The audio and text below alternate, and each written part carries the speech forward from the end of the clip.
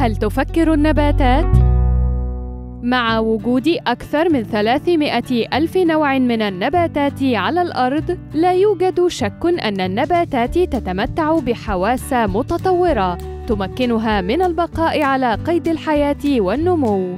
ولكن مع أن بعض سمات النباتات ربما تشبه حواس التذوق والبصر واللمس والشم لدى الإنسان، فهل سبق لك أن تساءلت: أيمكن للنباتات أن تفكر؟ إن حجم النباتات على اليابسة إجمالاً أكبر ألف مرة من حجم الحيوانات، لكن هذه النباتات ثابتة ولا يمكنها التحرك في بيئتها، وهذا على ما يبدو نقطة ضعف تطورية كبيرة جداً. هذا الأمر أجبر النباتات على التكيف بطرق مدهشة تغفلها العين المجردة غالباً. أتشم رائحة غريبة؟ النباتات تشمها أيضاً، وتتفاعل مع هذه المواد الكيميائية الموجودة في الهواء.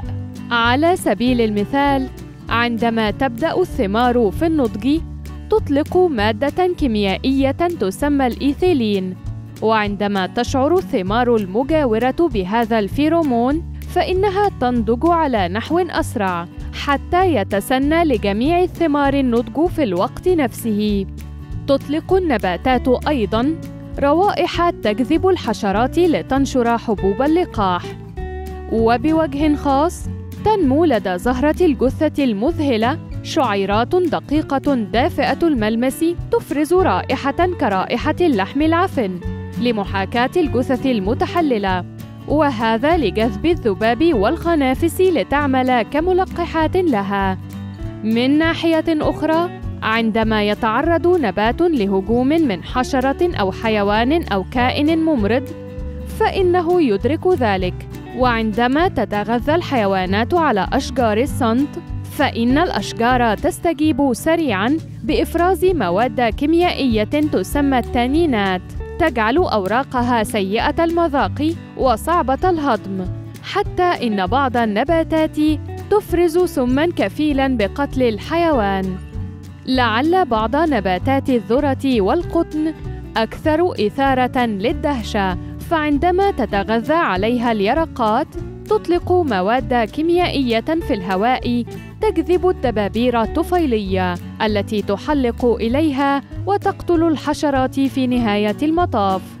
إذا تتواصل النباتات مع الدبابير بطريقة أو بأخرى، وبقدر ما قد يبدو ذلك غريباً، فإن التسجيلات الصوتية لأصوات اليرقات أثناء مضغ الأوراق تحفز الاستجابة نفسها لدى هذه النباتات فتستجيب دون أي شكل من أشكال اللمس كأنها تسمع. تعمل النباتات أيضاً معاً على نطاق أكبر، حيث يمكن لشبكة من الفطريات تحت الأرض الربط بين جذور الأشجار في الغابات، مما يتيح لها تبادل العناصر الغذائية والمعلومات. وقد اكتشف العلماء باستخدام النظائر المشعة أن الأشجار تتبادل الماء والعناصر الغذائية مع غيرها من الأشجار التي بحاجة إلى الغذاء. وتزود الأشجار الكبيرة الشجيرات الصغيرة الواقعة في الظل بالغذاء حتى تنمو بما يكفي وتتمكن من الوصول إلى أشعة الشمس. والأشجار دائمة الخضرة تتبادل العناصر الغذائية مع الأشجار التي تفقد أوراقها في الشتاء فتساعدها على البقاء خلال ذلك الموسم. وهو ما ترده هذه الأشجار مرة أخرى في أشهر الصيف. فالأمر يشبه عمليات التبادل التجاري. يشير بعض العلماء إلى هذه الظاهرة باسم الشبكة العنكبوتية النباتية. وربما أكثر الحقائق إثارة للذهول أن بعض النباتات يبدو أن لديها ذاكرة. نباتات الميموسا بوديكا هي نباتات ورقية تغلق أوراقها عند لمسها، ويهدف رد الفعل التلقائي هذا إلى إبعاد الحشرات التي تقف عليها.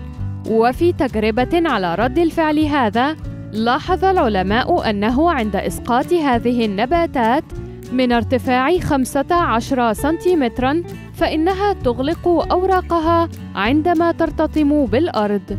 ليس هذا غريبا ولكن بعد تكرار السقوط أربع أو خمس مرات توقفت بعض هذه النباتات عن الانطواء على نفسها كأنها أدركت أن هذا الفعل ليس مؤذياً.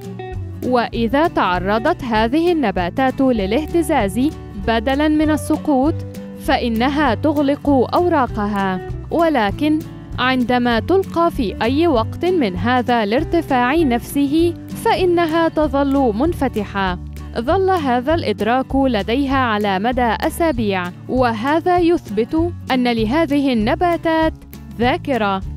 بالطبع لا تمتلك النباتات مخا أو خلايا وأعضاء تعتبر ضرورية من أجل الإدراك الذكي. إن المخ والخلايا العصبية لا يمكن تعويضها والنباتات ثابتة وكثيرا ما تتعرض للهجوم.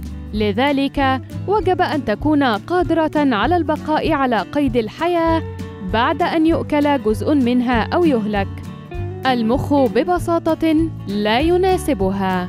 ولكن إذا كنا نقيس الذكاء أو التفكير بأنهما القدرة على حل المشكلات والتفاعل مع البيئة وحتى العمل معا في مجموعات فإن النباتات ذكية على نحو مذهل. وهذا شيء عليك أن تضعه في اعتبارك عندما تتناول بعضا من البروكلي.